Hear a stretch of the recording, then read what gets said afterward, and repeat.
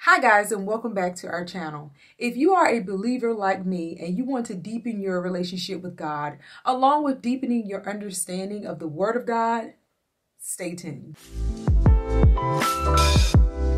Hi guys, I'm excited to bring you this video because I finally found a great study resource that will help to heighten my understanding of what I'm reading when I'm reading the Word of God. Um, this particular tool I found um, on social media. There are a lot of great advertisements being presented now and being promoted, and this was one of them. We find a lot of them that relate to merchandise and you know clothing, hair products, beauty products, but then we also find some good ones that will help us build our spirituality as well. And this was one of those resources. So here I have the Bible study tool and as you can see, it comes in two different booklets. And this was written by Zach Windahl. And um, this particular resource, if I were to describe it in three words, I would say that it's refreshing, it's relevant, and it is very reflective. And by refreshing, I mean I don't feel overwhelmed like I used to when reading the Word of God. It is reflective in that it has a lot of questions that are uh, found throughout the course of this guide that help to clarify and cause me to ponder and really think deeply about what I read. And not only does it cause me to think deeply about what was read, but it causes me to really remember a lot of those key points that were pulled out in the scripture. So it, it I, I, found myself constantly reflecting on what I read and trying to gain a deeper understanding in order to answer those questions. So it all kind of works together.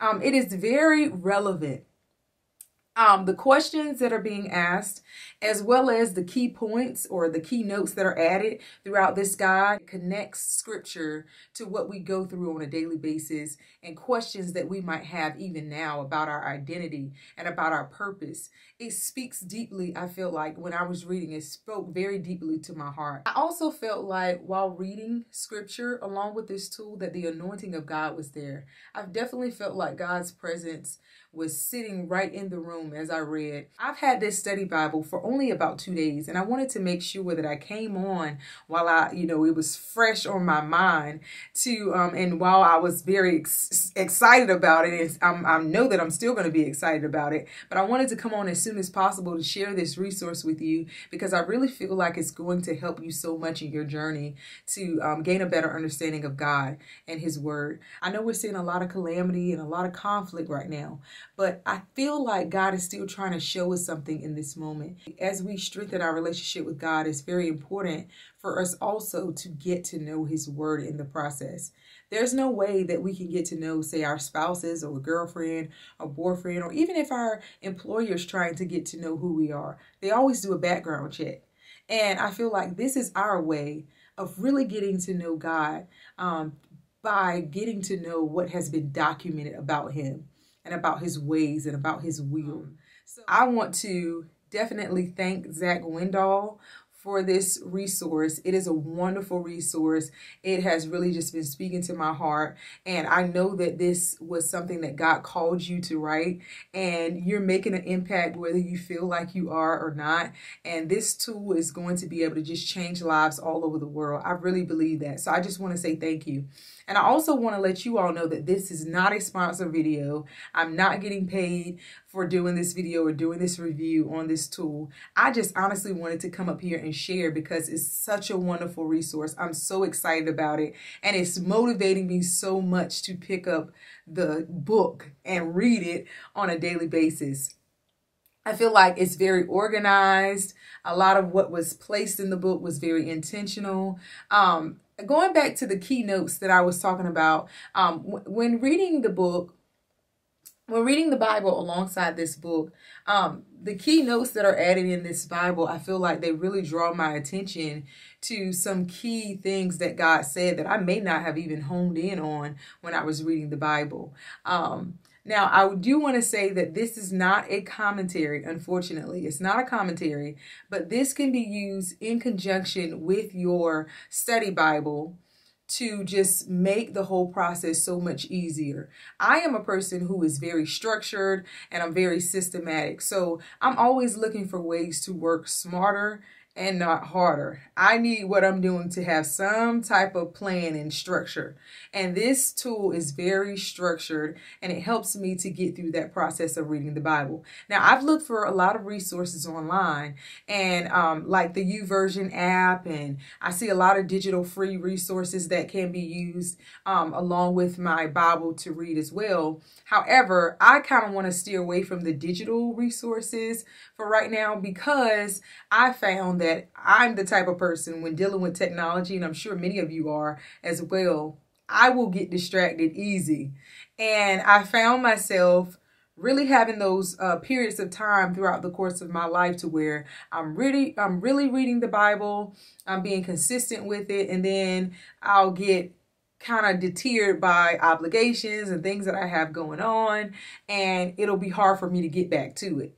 But I found that since getting this resource, I'm so excited about the next day to learn more. A person that would read the Bible based on um, certain things, or I would kind of jump around and read this book of the Bible, then I'm reading this book, and not really get clarity about the whole storyline and the whole plot. Um, I feel like it's a better um, technique for you to start at the very beginning of the Bible and then work your way through the stories until you get to the end um, because it you have to understand the context of what you're reading. For, based on the plan that's given, you're going to be reading about uh, two chapters. Right now, I'm just reading two, maybe three chapters a day. And as I proceed, the amount of chapters, depending on how long they are, will grow. Um, so I may end up reading about five to six chapters a day. And it's with the goal that you'll be reading a whole book by the end of the week. And I'm just believing God that by the end of this year, I would have completed the whole Bible. And I'm going to believe God with you as well. Um, so I've done a lot of talking about how I feel about this tool. Now I'm actually going to show you what the tool looks like. Okay. So let's get into it. So as we look at the layout of each of our study guides, here you have basically an overview of each week. It outlines the book of the Bible that you'll be reading. Here is an overview of the Old Testament in general. It explains the sections and the books of the Bible that are found in each section. Like you have the Torah, the historical, the prophetic, and the books of wisdom. There are 39 books of the Old Testament and there are 25 authors. It also gives you the date and time for creation, which is 400 um, BC. Now, as you start reading your book of the Bible, you're going to see a layout that looks like this. And on each of the layout pages, it will tell you the author, the date, the audience, the reason. It gives you the theme, the key verses. It also gives you the sections that you'll be reading in that week as you read that book of the Bible. The section portion is very important because it will tell you for each day what to read. That's where you're going to find your daily reading plan. And then it also gives you keywords to consider while you're reading. Here you're going to have an overview of the book. And then as you flip the pages, it seems like for each book, or just the book of Genesis, because that's the book I'm in, there are about 12 pages. And on each page, you're going to have, depending on what you're reading, um, sections to where you can add key notes and reminders for yourself. There are questions that really draw your attention to the key events that happen in that story or in that book of the Bible. And then you're going to notice that there are key notes that I really love, key notes that pull on those major events that happen in the Bible that kind of highlight what God was saying in that moment. Okay, so as we flip through, you're going to see very colorful pages to draw your attention to what God was saying in that moment and just little reminders for you to keep you going. More questions. And they're going to be a set of questions for each of the major events from what I'm finding in that book of the Bible. Colorful pages. And then for each book of the Bible, you're going to have final thoughts which relate that book to your everyday life. So the structure is very similar for each book. You might find timelines, maps, depending on what you're reading. You might have graphics from that book.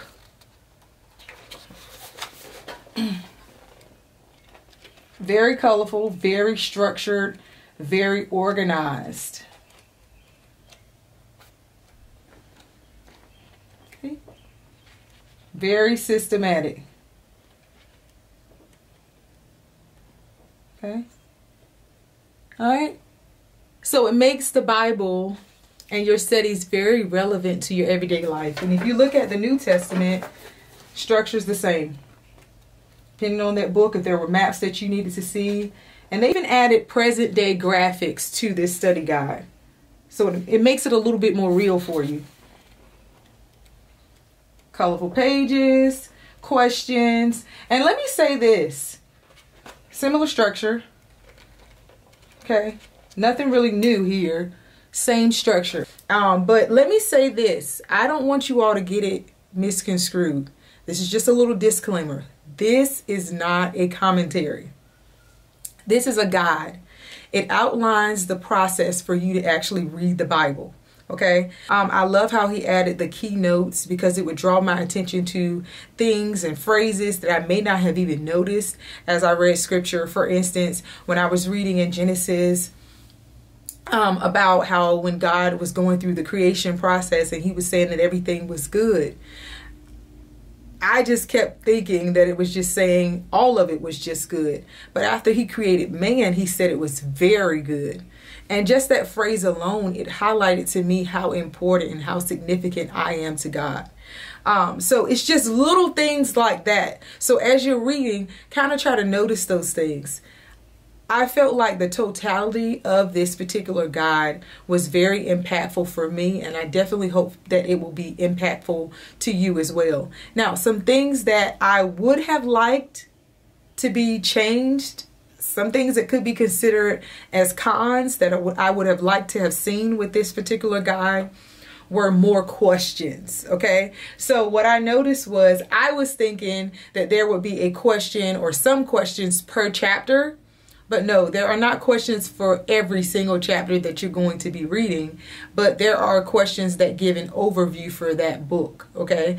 And but I did like that Zach added um, sections or spaces where you can add notes.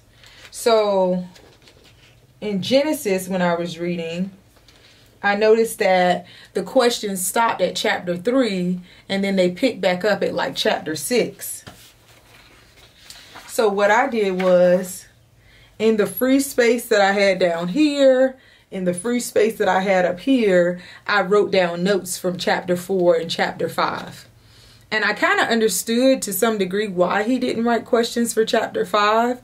I guess because it was basically explaining the genealogy from Seth and the descendants from Abraham and Sarah. So he didn't really add questions for that because as I stated before, the questions are based on like the key, the major events that happened for that particular book.